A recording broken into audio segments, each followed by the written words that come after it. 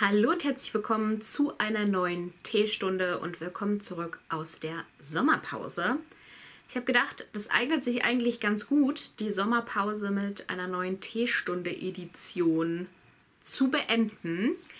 In der Teestunde spreche ich ganz, ganz viele verschiedene Themen an, die null zusammenpassen, die aber gerade in meinem Leben präsent sind, mit denen ich über euch spreche und mich dann sehr, sehr gerne in den Kommentaren darüber mit euch austausche. Ich werde auch zu Beginn eine Frage aufgreifen, die ihr mir mal gestellt habt. Und das Ganze heißt Teestunde, weil es für gewöhnlich ein etwas längeres Video wird. Also nehmt euch gerne Tee, einen Kaffee, ein Getränk eurer Wahl und schaut mir dann gerne hier zu.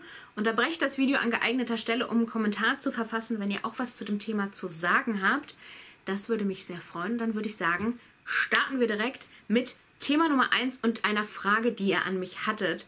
Und zwar kann ich jetzt den konkreten Wortlaut nicht mehr wiedergehen, aber es ging darum, ähm, was ich denn für Spartipps habe, um meinen Alltag so gestalten zu können, wie ich ihn halt aktuell gestalte. Und ich dachte erst, boah, ich habe da bin ich überhaupt nicht der richtige Ansprechpartner dafür. Es gibt ja sehr viele tolle, gute Finanzexperten, Expertinnen auch hier auf YouTube. Und dann dachte ich, aber es gibt so ein paar Dinge, die für mich ganz normal sind. Vielleicht für den einen oder anderen da draußen, der gerade zuguckt, aber nicht. Und deswegen habe ich mir die jetzt einmal aufgeschrieben. Es sind fünf an der Zahl, die ich jetzt einfach mal so nennen würde. Punkt 1 ist, ich gebe wenig, ich wollte jetzt gerade sagen null, aber das ist nicht ganz konkret, nicht ganz korrekt. Ich gebe wenig Geld für mein Äußeres aus. Also ich hatte es jetzt explizit auf Nägel und Wimpern gelegt. Also ich habe Freundinnen, die sich das eben, Freundinnen nicht, Bekannte, die das sich regelmäßig machen lassen und gerade Wimpern ist ja eine super teure Angelegenheit. Da tut mir schon ähm, das Herz weh bei der Zeit, die ich da verschleudere. Also auf meinen Wimpern ist nur Wimperntusche. Und ich lasse ja auch seit, boah, also ich glaube, im Studium habe ich das letzte Mal meine Nägel machen lassen. Also das ist, mein Studium habe ich beendet 2012. Also das ist ein halbes Leben lang her. Das Einzige, was ich mit meinen Nägeln noch mache, ist, dass ich Nagelfolien benutze. Die sind natürlich wesentlich teurer als Nagellack, hält aber tausendmal besser. Also so ein, ein Set Nagelfolien kostet, glaube ich, 10 Euro und damit komme ich zwei bis drei manchmal sogar vier Wochen aus, weil das eben so toll, so lange hält. Und ansonsten gebe ich eben für sowas wenig Geld aus im Vergleich wahrscheinlich zu anderen. Ähm, dann habe ich mir aufgeschrieben, diese ganzen Streaming-Sachen. Ich meine, wir haben auch viel. Im Grunde haben wir auch noch zu viel. Aber wir haben halt Netflix, wir haben Prime, wir haben Disney Channel. Aber da gibt es ja noch tausend andere und dann kann man irgendwie noch ähm, ein Audible-Abo haben und ein Book, wie hieß das? Ähm, naja, noch so ein anderer Hörbuchanbieter und dann kann ich vielleicht noch ein Spotify-Abo haben und dann habe ich noch ein YouTube-Abo und habe ich das und das und das und das und das und das summiert sich ja quasi extrem. Also da einfach mal zu gucken, was habe ich alles, was nutze ich tatsächlich sehr, sehr regelmäßig, brauche ich das eine unbedingt oder kann ich darauf noch verzichten, ist vielleicht auch nochmal ein Tipp. Ähm, ansonsten nutzen wir die städtische Bibliothek hier sehr viel. Das heißt, ich gebe auch nicht viel Geld für Bücher, für Zeitschriften, für CDs, für äh, DVDs, für Switch-Spiele. Das gibt es dort einfach alles. Dort gibt es Turnifiguren. Äh, da kann man, glaube ich, auch noch unheimlich viel Geld sparen. Und dann kaufe ich vielleicht auch einfach an das ein, was so Lebensmittel betrifft. Also auch da immer wieder die Frage, brauche ich das? Also braucht es den Paula-Pudding? Nee, der macht nicht satt und der macht nicht gesund braucht es also einfach nicht. Ähm, ne, also gerade bei solchen Sachen, solchen nicht nahrhaften Sachen, ist es tatsächlich, also es gibt bei uns mal einen Paula-Pudding einmal im Jahr, wenn überhaupt. Ne? Also bei sowas, sowas kaufe ich einfach regulär gar nicht ein, was so unter diese ganzen Snacks und Süßigkeiten-Geschichten fällt. Genau.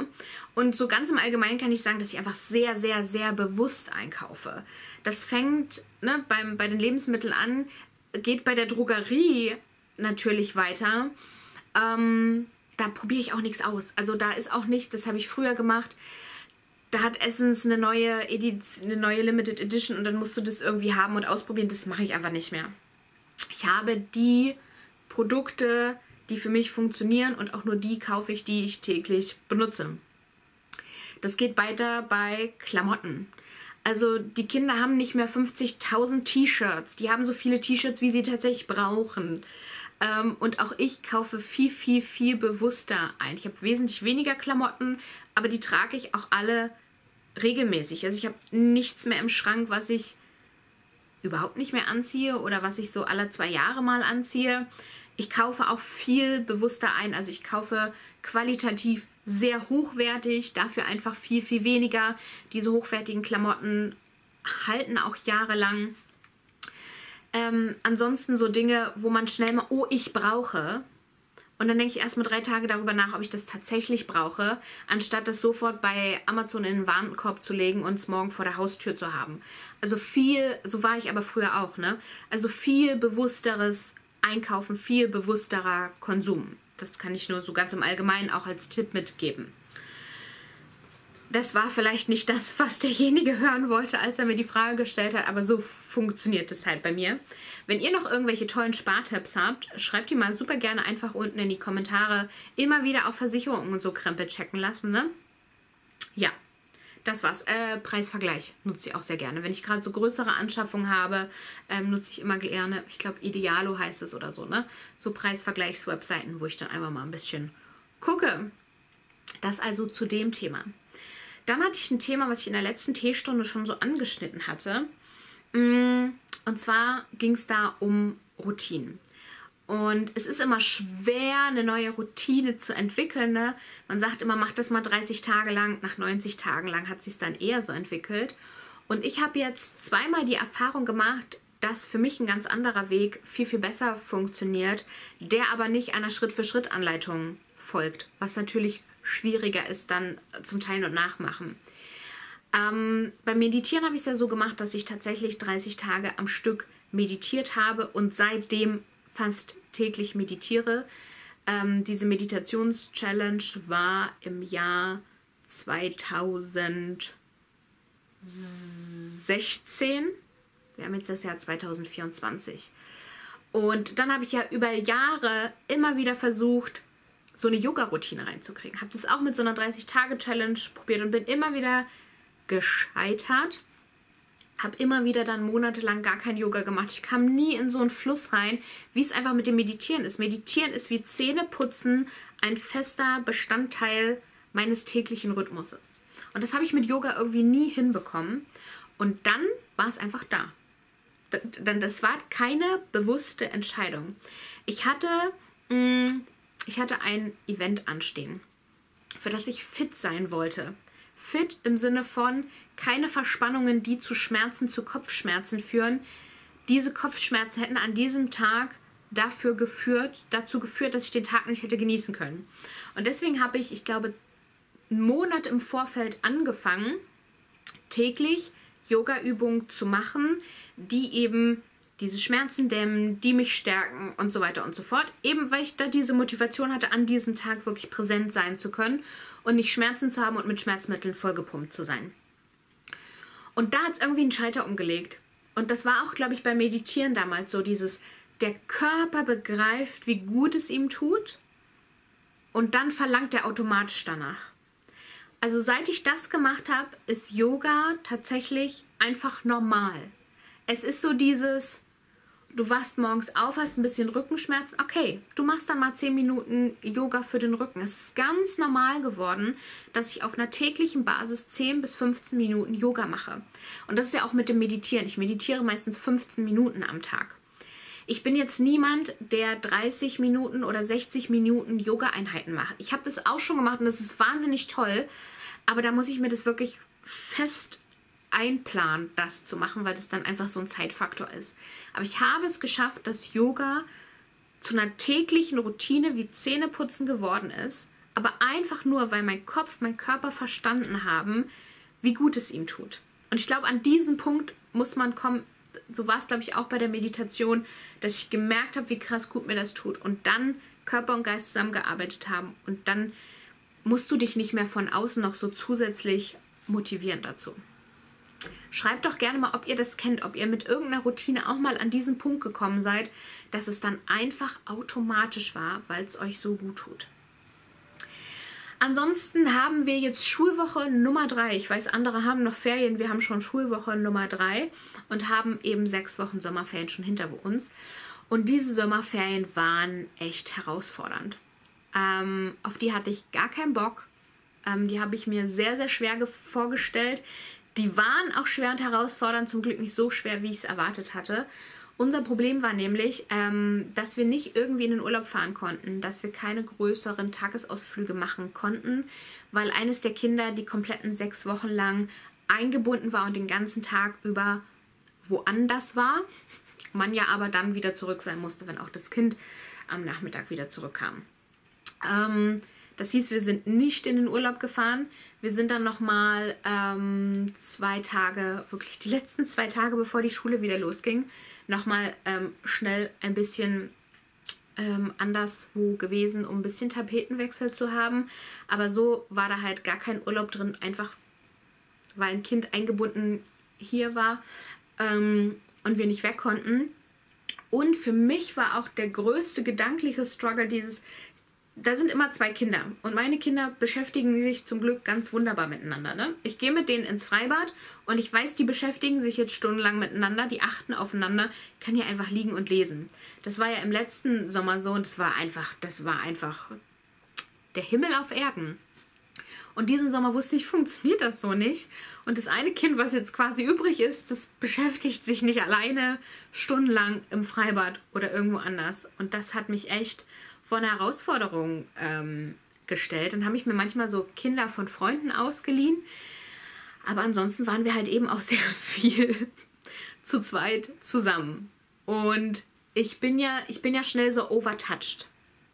Ähm, und habe da schnell so ein Problem damit, wenn jemand so ganz eng permanent bei mir ist und ich wenig Freiraum für mich habe. Also ich hatte wahnsinnig wenig Freiräume in diesen sechs Wochen ähm, Sommerferien natürlich es ging dann doch besser, als ich gedacht hatte. Ich habe das auch gedanklich ein bisschen geswitcht hin von diesem Gedanken an, wie anstrengend das wird und wie schwierig das wird und was mache ich nur hinzu, okay, das ist jetzt eine sehr intensive Bonding-Zeit, die ich halt mit diesem einen Kind habe. Und ich versuche einfach das Beste daraus zu machen und die Vorteile daraus zu ziehen. Und trotzdem waren es sechs sehr anstrengende Wochen, keine sehr erholsamen Wochen und jetzt sind wir halt schon wieder in, der, in dem Schulrhythmus angekommen. Und ich versuche jetzt aber noch so viel wie geht aus dem Sommer rauszuholen und jetzt eben noch, wo es geht, nachmittags mit beiden Kindern eben ins Freibad gehen zu können. Und so weiter und so fort. Aber Sommerferien waren eher so semi dieses Jahr. Ähm, ich hatte auch einen sehr hohen Mental Load in den Sommerferien, obwohl ich ja eigentlich immer in den Sommerferien so mein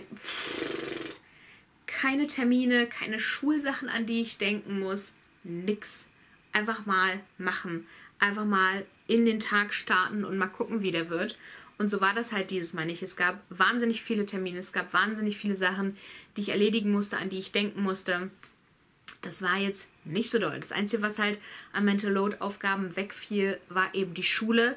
Was mich jetzt natürlich, und das habe ich jedes Jahr nach den Sommerferien erst recht wieder bombardiert hat mit ähm, ja, allem, was ihr halt so kennt, ne? Schulzeug besorgen, hier Geld bezahlen, da Elternabend, da Geburtstagseinladung zu Kindergeburtstagen, da musst du wieder Geschenke besorgen und so weiter. Also mein Mental Load ist gerade krass. Ich habe gerade wahnsinnig viel zu tun und schaffe nie mein Tagespensum. Es wird schon wieder besser. Es ist heute super gut, weil es nur 20 Grad hat. Das ist gerade so oh, weil wo das hier so 35 Grad hatte, konnte ich mich natürlich auch schlecht konzentrieren. Ihr habt das, glaube ich, auch alle gefühlt, dass man einfach eher so matter ist, nicht so viel Energie hat. Das hat sich natürlich negativ auf meine Leistung ausgewirkt und dementsprechend auf das, was ich so geschafft habe. Und das macht natürlich immer was mit mir. Wir sind in einer Leistungsgesellschaft hier in Deutschland. Ihr wurdet wahrscheinlich auch, wie ich, ähm, leistungsmäßig erzogen. Das fängt einfach schon in der Schule an, dass wir ab Klasse 1 zu Leistungen hin erzogen werden. Nicht zu Spaß, zu Leistungen. Und das abzulegen ist super, super, super schwer. Und dann bist du in dieser Mutterrolle, die auch viel Leistung, viel Kraft, viel Arbeit von dir erwartet. Und dann bist du wieder in diesem Strudel drin. Und das ist dann manchmal sehr, sehr schwer rauszukommen. Aber zum Glück ähm, konnte ich mir das eben beibehalten mit dem Meditieren, mit dem Yoga. Ich habe jetzt noch eine Sache hinzugefügt. Ist vielleicht auch noch ganz cool, mal so zum Thema Routine noch zu hören. Routinen, neue Gewohnheiten entwickeln. Es ist immer gut, was miteinander zu koppeln. Also wenn du schon eine bestehende Routine hast, wie zum Beispiel Zähne putzen, ähm, da vielleicht noch gleich was hinten anzuschließen oder so, das ist für den Kopf einfacher. Oder wie bei mir, ich habe das gekoppelt mit dem Meditieren. Ich habe mir jetzt endlich so eine Akupressurmatte gekauft und es war wieder dieser Struggle von, oh, wann mache ich denn das jetzt auch noch? Na, ganz einfach. Immer dann, wenn ich meditiere, liege ich auch auf dieser Akupressurmatte und habe einfach zwei Routinen miteinander kombiniert und mache halt jetzt doppelt so viel für mich in ein und derselben Zeit. Vielleicht das auch mal so als kleiner. Ähm, da kann ich euch sehr das Buch Die 1%-Methode auch empfehlen. Da wird auch viel darüber gesprochen, wie man sowas für sich verbessern kann. Und mein aktuellstes Thema, worüber ich auch ganz intensiv mit einer Freundin spreche, sind Bedürfnisse. Das ist ja was, was für uns als Mütter zum einen essentiell ist, dass auch unsere Bedürfnisse befriedigt werden. Zum anderen ist es ja sehr, sehr, sehr, sehr, sehr, sehr, sehr, sehr schwierig. Und wir kamen unseren, vor allen Dingen, weil man ja nicht nur die eigenen Bedürfnisse erfüllen muss, sondern die von sehr vielen anderen Menschen auch noch. Ne? Wir als Mütter erfüllen die Bedürfnisse unserer Kinder, wenn man hat auch noch die des Partners, der Eltern, der Freunde, was auch immer. Und dann kommen die eigenen meistens zu kurz. Das ist ja das, was ich in den letzten Jahren in meiner Arbeit auch immer wieder versucht habe, sich selbst wichtiger zu nehmen, seine Bedürfnisse wichtiger zu nehmen und diese Bedürfnisbefriedigung auch an oberste Stellung mitzusetzen, weil wir dann sonst in einen unglaublich toxischen Kreislauf geraten. Und ich hatte jetzt im Gespräch so dieses, dass ich sage, ich fühle nicht, dass alle meine Bedürfnisse befriedigt werden und habe gesagt, aber ich kümmere mich doch schon darum, dass ich Me-Time habe, dass ich mich entspanne, dass ich Kraft danke, eben durch Meditation, durch Yoga, dass ich meinen Körper gesund halte.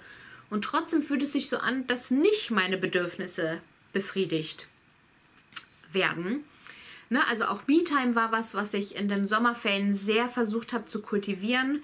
Da hatte ich ja so eine Videoreihe, das habt ihr hier in YouTube in Ausschnitten gesehen, auf Instagram habt ihr das komplett gesehen.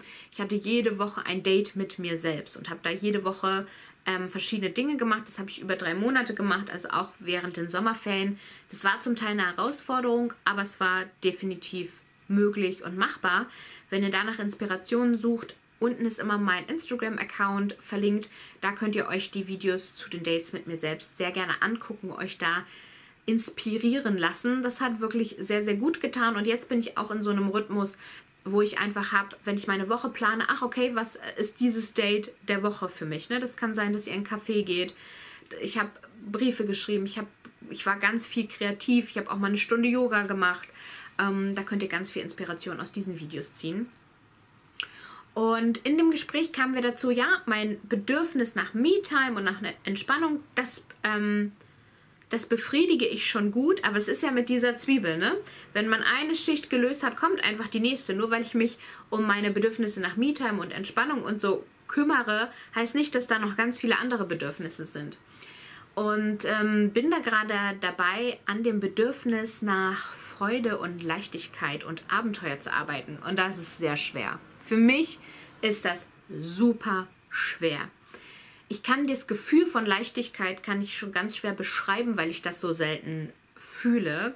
Ich habe auch wirklich Probleme damit, tatsächlich so eine naja, Leichtigkeit und Freude ist ja auch so ein bisschen verpackt miteinander. Ne? Ihr kennt das bestimmt, wenn man so im stressigen Alltag vor sich hin hasselt, dass so freudige Momente eher selten sind und dann halt immer nur so ganz, ganz, ganz, ganz kurz. Also diese ganz, ganz, ganz, ganz kurzen, die will ich schon bewusster noch wahrnehmen, bewusster wahrnehmen. Oh, bei dem Film habe ich heute mal zweimal gelacht, zum Beispiel. Oder bei diesem YouTube, äh, nee, YouTube nicht, Instagram-Reel von einem Komiker habe ich mal gelacht oder so. Aber ähm, habe mich ganz sehr jetzt mit meiner Freundin eben auch mit diesem Bedürfnis nach Leichtigkeit auseinandergesetzt. Was ist das? Wie fühlt sich das an? Ähm, vielleicht da mal, wie bin ich da jetzt erstmal in den ersten Schritten rangegangen? Ich habe mir zum Beispiel eine Playlist erstellt mit Musik, die für mich Leichtigkeit verkörpert. Ich habe, wenn ich mir Instagram Reels angeguckt habe und ein Reel gesehen habe, was für mich Leichtigkeit ausgestrahlt hat, habe ich mir das in einen Ordner gepackt, um einfach für mich ein Gefühl zu kriegen, was sind auch Aktivitäten, was sind Umgebungen, hm, die für mich Leichtigkeit bedeuten, um das dann im Alltag irgendwann mal umsetzen zu können. Soweit bin ich noch lange nicht. Ne? Also das ist wirklich so eine Tippetappe-Tour, gerade wenn das ein sehr blockierter Bereich vielleicht auch ist. So war es für mich am Anfang mit Me-Time und Entspannung auch. Ne? Das weiß ich noch, wie schwer das vor ein paar Jahren war. Und jetzt mache ich da halt eben gerade so eine neue Tür auf, die auch jetzt erstmal nicht einfach ist. Aber ich mache das mit einer Freundin zusammen und ähm, da haben wir so ähm, wöchentliche Treffen und widmen uns dann auch ganz konkret diesem Thema. Ne? Also wenn wir uns diese Woche treffen, wollen wir uns auch mal anschauen, was haben wir denn für blockierende Glaubenssätze, warum wir uns Leichtigkeit und Freude nicht erlauben. Was haben wir davon, daran festzuhalten, wenig Leichtigkeit und wenig Freude in unserem Alltag zu haben? Warum bestrafen wir uns damit vielleicht auch für irgendwas? Also was liegt unterbewusst da dahinter und das dann so peu à peu, Stück für Stück aufzulösen, um dann irgendwann tatsächlich mal dahin zu kommen, ganz konkrete Handlungsschritte zu haben, was wir tun wollen, was uns Leichtigkeit im Alltag bringt. Aber das ist so eine so ein langer Weg, aber irgendwann muss man ja auch mal anfangen, den zu gehen. Irgendwann muss man anfangen, diese Blockaden auch einfach abzubauen und das mache ich eben gerade aktuell bei diesem Thema. Vielleicht habt ihr auch gerade irgendein Bedürfnis, wo ihr sagt, nee, bei mir ist es noch das Bedürfnis, noch völlig wertungsfrei. Bei mir ist es das Bedürfnis Entspannung, Me-Time, Selbstverwirklichung und da halt mal ranzugehen, okay, was bedeutet das konkret? Wie sieht für dich das Thema Entspannung aus? Wobei kannst du entspannen? Dann mal zu gucken, warum ist das aktuell noch nicht Teil deines Alltags? Warum machst du das noch nicht? Was liegen da auch für Glaubenssätze dahinter? Ne? Man muss erst was leisten, um sich dann entspannen zu können. Man muss sich das gönnen, was auch immer das ist. Vielleicht hast du früher beigebracht gekriegt, dass sich nur Faule entspannen, was auch immer. Das dann für sich umzuswitchen, was würde ich gerne stattdessen denken. Und dann mal ganz konkret Handlungsschritte sich zu überlegen was müsste ich konkret tun, um mich zu entspannen, um das mehr im Alltag zu haben und da auch nicht die Messlatte gleich wieder zu hoch zu legen, nehmen wir jetzt mal das Bedürfnis nach Gesundheit, Bewegung, irgendwie so. Da könnte man jetzt sagen, okay, also ich gehe jetzt dreimal die Woche ins Fitnessstudio und ich gehe noch zweimal die Woche schwimmen und ich fahre jeden Tag Fahrrad und ich gehe noch dreimal die Woche spazieren. Das ist aber Bullshit. Besser wäre zu sagen, okay, ich gehe jetzt einmal die Woche spazieren und das mache ich jetzt mal einen Monat lang. Und im zweiten Monat sage ich, ich gehe zu dem einmal die Woche spazieren und noch einmal die Woche Fahrrad fahren. Und das mache ich wieder einen Monat lang. Und danach, dem Monat, wenn sich das so ein bisschen etabliert hat, kann ich mal gucken, ob ich dann einen Sportkurs anfange. Also auch, das, da sind wir wieder beim Thema Leistung. Diese Leistungsorientierung, die wir haben, liebevoll auch in diesen Prozessen mit sich zu sein und langsam anzufangen, das Ganze machbar zu halten und dann kann man das aufbauen, weil sonst verlierst du ähm, ganz schnell die Motivation, die Energie. Das funktioniert so natürlich auch nicht, wenn man sich so hohe Ziele steckt und dann ist man wieder genau da, wo man vorher war. Das waren so die Themen, die ich mir aufgeschrieben hatte für diese Teestunde. Solltet ihr ganz konkrete Fragen haben, Themenwünsche haben, auch Themenwünsche, die ich in so eine Teestunde mal packen kann, wenn genug Fragen für ein QA zusammenkommen, kann ich auch das mal wieder machen. Also alles, was euch interessiert, was euch auch gerade persönlich einfach beschäftigt, gerne jetzt hier unter dem Video einfach mal in die Kommentare, dass ich gucken kann, was ich da in nächster Zeit so daraus bastele. Bis auf diese Teestunde hatte ich jetzt erstmal noch keinen Plan, was jetzt nach der Sommerpause passiert. Lasse ich jetzt auf mich zukommen, wie ich das auch zeitlich alles schaffe. Ich sage hier nur nochmal Hallo zurück aus der Sommerpause. Ich freue mich jetzt sehr darauf eure Kommentare zu lesen. Ich hoffe, es hat euch Spaß gemacht, mir wieder zuzuhören. Wenn dem so war, gebt mir doch gerne einen Daumen hoch. Das hilft mir, hier sehr vom Algorithmus gesehen zu werden. Abonniert gerne meinen Kanal, wenn ihr das noch nicht getan habt und teilt meine Videos gerne mit anderen, für die das interessant sein könnte. Und wir sehen uns dann ganz bald wieder beim nächsten Mal. Bis dahin, tschüss!